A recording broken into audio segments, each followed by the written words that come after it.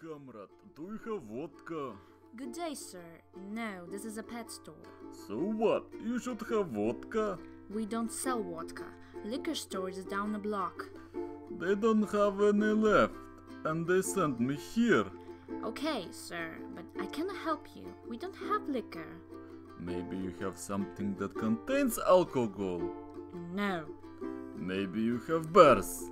Toy shop is across the street. No, no, no. I mean real bears. That's it. Ah, And they also eat fish. No, we have only pets that are suitable to be raised in homes. But I have raised a bear at my home. His name was Sharik. We were friends. Okay, sir, I think you should go. Go where? Sir, just go. I don't have nowhere to go without vodka. I'm sorry, but it is not my business. Maybe you have fish? Sir,